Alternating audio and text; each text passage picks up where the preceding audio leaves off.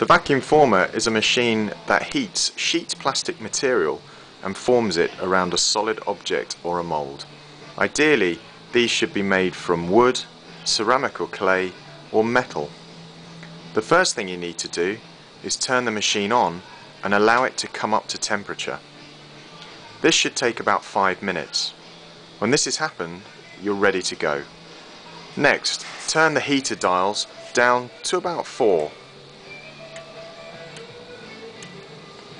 Next thing you need to do is place your object or mould on the metal bed.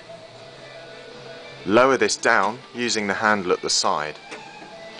Then take your piece of plastic material, this is styrene, and has been cut to a size of 460 by 260 millimeters.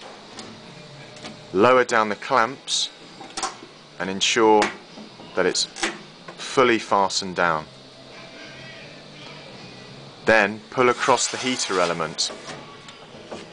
The process of heating the plastic should take around 30 to 40 seconds and during this time have a look at it and keep an eye that it doesn't get too hot.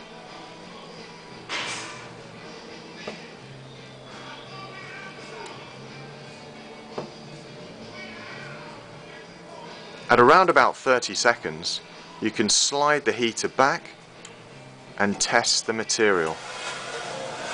It should be soft and spongy. When it is like this, heat it for a further 5 to 10 seconds and then you are ready to go.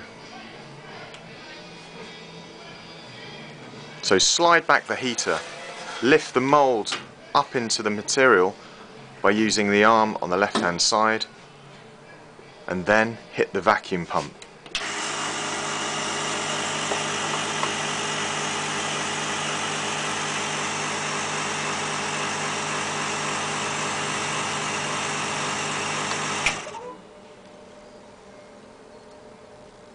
Now allow the material to cool down before releasing the clamp.